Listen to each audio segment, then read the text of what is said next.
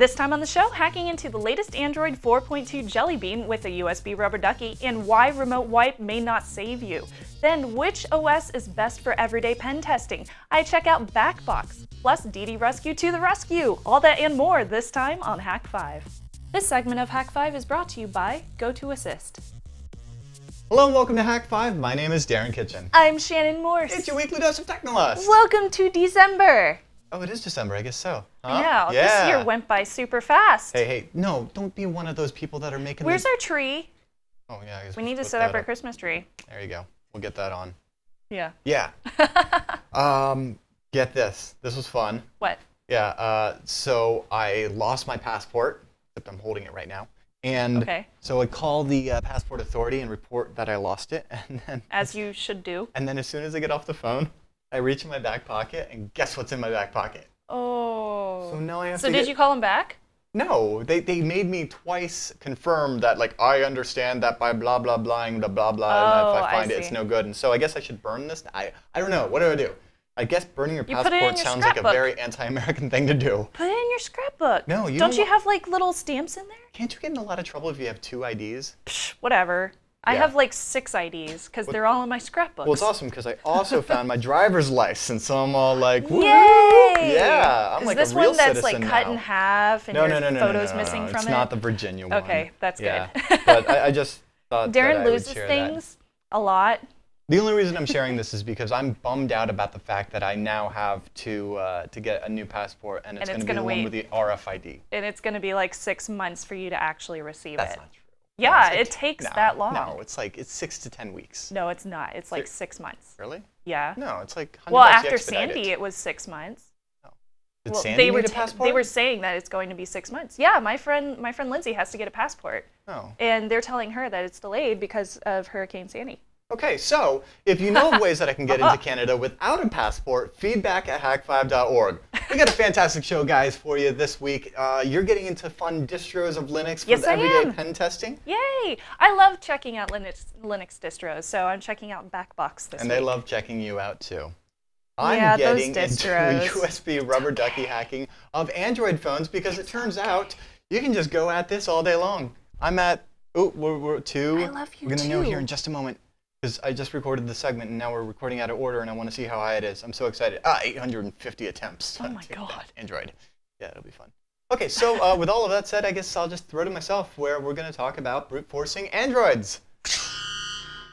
So if you guys remember last week we were talking about the fun stuff that we're developing with the USB rubber ducky and I've been having a ton of fun in Android because just like any other computer, they love human input. And what is the USB rubber ducky? Well, it's a human interface device that mimics human input as a keyboard and through it we can do some really fun stuff. I've used it in the past to say brute force the BIOS password on an old machine where you happen to have forgot the BIOS password. And somebody in the comments on YouTube had uh, mentioned, hey, why don't you try brute forcing Android? To which myself, as well as many other people, automatically go like, dude, are you kidding? They're gonna like after five tries, gonna have to wait like 10 minutes, and then after like 100 tries or 50 tries or whatever it may be, it's just gonna format the device, and it's gonna be no fun. And then you'll have sad pants on, and nobody wants to wear sad pants. But it turns out that is totally not the case. And I was like, totally freaked out when I came in to try to put together a segment for you guys that's basically the idea of like why online brute forcing typically doesn't work. Except for today when it does, which is pretty cool because you know we typically think about like security as you know just a measure of like security and convenience, especially when it comes to mobile. Um, you know nobody wants to type in like a big ass password. Like I've got like an 80 character Gmail password, and let me tell you, it's no fun to have to type or swipe. In fact, you can't swipe it. There's too many little things to go into. So mitigating, you know, the, the convenience and security trade-off there, a lot of people go with like a four-digit passcode. And so many times it's been said, oh, well, just, you know, use a uh, PIN code on your Android device because that swipe to unlock is no good. As Cause has pointed out here, uh, Kyle Osborne on this show, Cause.io, with his P2P ADB software, go back in the, the Hack 5 archive and find yourself a, an ep- copy of that episode. to get all learned up on how you can bypass the swipe to unlock screen. Or you know, looking at the smudges, you can say like, oh, it looks like they go up and then down and then over, and it's like a Tetris block. But I'm why am I using this force? And so the idea is like use a pin code. That'll save you. It's good enough security because nobody wants to like type in a really long password. Uh, and the the idea has always been also that if you lose your phone, you've got time. You'll you'll be okay because you can remote wipe that phone. And you know th that these are all very good. Um, ideas, but I think that uh, I think that a lot more could be done to save you. So I've actually put together a really fun scenario using uh, stock out of the box Android 4.2.1, like the latest version as is on a uh, Galaxy Nexus. And I figured that this would be a great example of uh, showing off some fun stuff we can do in Bash, some fun stuff we can do with the Ducky script, and uh, some, you know, a great example of an online brute force attack and some of the caveats involved there. So first of all, what we're going to need to do is put together a Ducky script to do our brute force attack. And I don't want to rewrite the firmware, and I don't want to spend an hour writing a uh, text file, but this is the perfect time to be using things like brace expansion. So why don't we just go ahead and have our Ducky script written out in Bash. And I'm assuming you're already familiar with Ducky script. If you're not, it looks like this. We could do uh, nano ducky script.txt. Yeah, yeah. And then it would be like script hello world. And then we'd enter. And then we could like hit alt and then F4. And then that would do exactly what you would expect it to do. So what if we want a Ducky script text file that includes every number from 0000 to 9999. Well, if uh, you've been watching, uh, what is it called, Hack Tip with Shannon on the kind of Linux bashy stuff, you'll remember that brace expansion is a great way to do that. So let's go ahead and create a file here, or I'll give you an example. I'm going to echo, um, let's see, in this case, squiggly bracket 0000 dot dot, and then 0010. And you can see it just prints out 10 of those. And so that's pretty cool. And so expanding on this, I can say, go to 9999. And what we'll do with this is I'm going to pass this to xargs, which is a really cool tool for manipulating stuff. And we're going to say we want one column of these. And we're going to prefix it with echo string. And so if I do that, I now have string. And it might take a while, but you can see there it's going all the way to uh, 9999. So let's continue with this. At this point, what I'm going to want to do is uh, add a couple of things because if I start brute forcing uh, on my Android device, every five attempts, it's going to tell me to wait. So check this out. I'll uh, show you here with my Galaxy Note, and I'll just say one, two, three, four. Nope. One, two, three, five. Nope. One, two, three, six. One, two, three, seven. One, two, three, eight.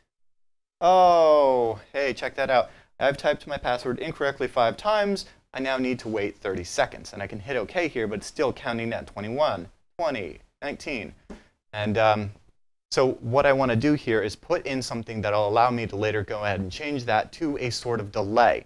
And so uh, I'll just use this as a uh, opportunity to uh, every five put the word wait. And we'll come back and change that later. So if I say uh, sed and then do 0 uh, tilde 5, and then s slash dollar slash, and I'm going to do a backslash n, which will do a carriage return here. And I'll type the word wait slash g. And then if I print this, in fact, let me change this from 9999 to like uh, 100, so you can see there. There we go. We can see every fifth line we've inserted the word wait, which is awesome. Except uh, I also need to put a delay in here because if I type this quickly, it's going to freak out my Android phone and I'll really start fuzzing it. And I had a lot of fun with them rebooting a lot. So I'm going to also add in here another sed.